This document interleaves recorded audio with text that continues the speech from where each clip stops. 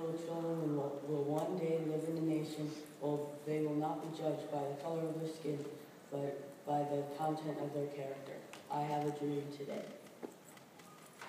I have a dream one day down in Alabama with its vicious racists, with its governor having his lips dripping with the words of interposition and nullification.